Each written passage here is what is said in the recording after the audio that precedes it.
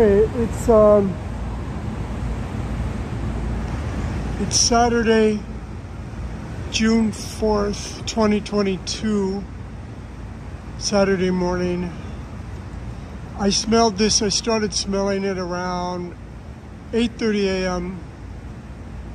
But then I uh, takes me a few minutes to get dressed and um, to come down here. So it was most likely stronger at around 8.30. And, um, okay, this is 255 West 43rd Street in Manhattan, 10036. This is the laundry room. That's the laundry room attendant doing her crossword puzzle. That's, you can see my reflection in there.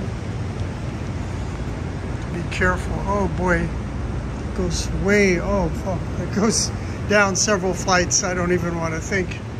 Um, getting close to that. Um, so laundry room. Um, here, it's called the Times Square managed by Breaking Ground. They won't help us with this. Uh, so, um, I live up there. If you can see the, I live right up above this, the apartment above this air conditioner here. I live up one flight above that. And then, um,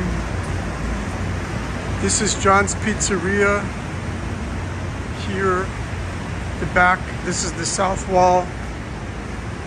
Here's their stained glass windows. And uh,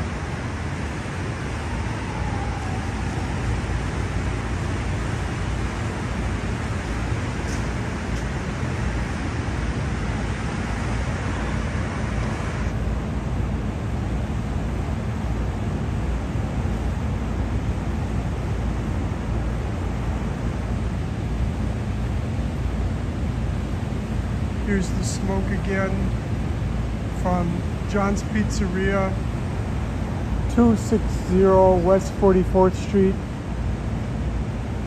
Oh, you can see. Oh, I just saw a little.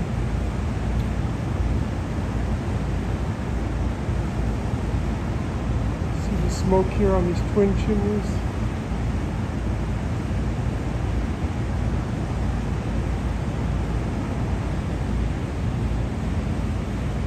So let me go back here. So the problem is, see this this building, all the apartments, see the, this building here on 8th Avenue, the apartments on, on our, on the left, the apartments to the left that belong to Times Square Hotel, all of the apartments below this building, it the, the smoke just kind of settles here all day. So a friend of mine, I call him the grumpy comedian. Um, okay, this is mezzanine. One, two, three. Wait, let me see. So mezzanine, one, two,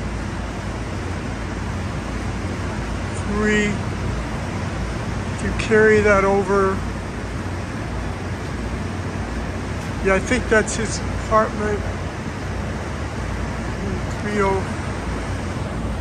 303, oh no, or that would be 305. 305, 304.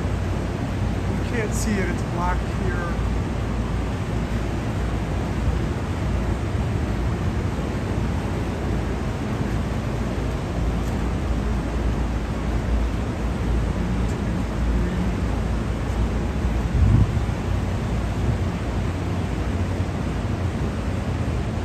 Okay, you see that pigeon up there? Uh, that's his apartment. He's now 303 Gary Roth. He's in the hospital now. He's got esophageal cancer. I think it's from the smoke. That when you're here, that you don't have the same ventilation that you do up higher. So I'm up on the sixth floor and I keep my windows shut. And uh,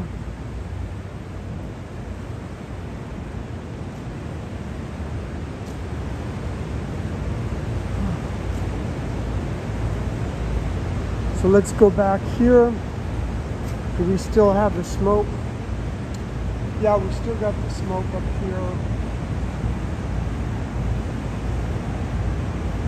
Oh boy, I should bring down the tripod for this. Have to remember.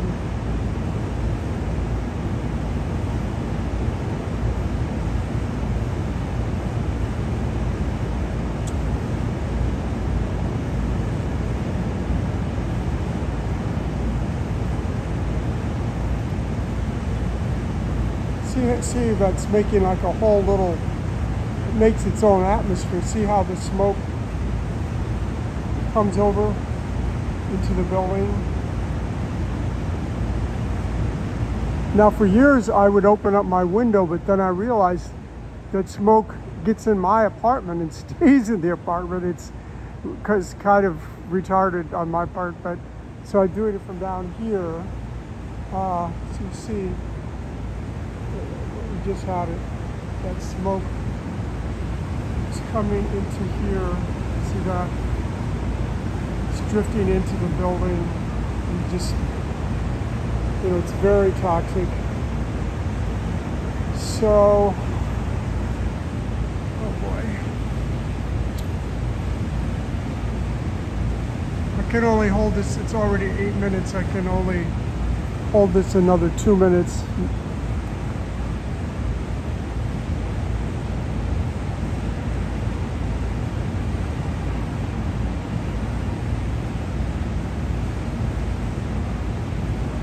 The smoke going all the way up there. Very bad odor.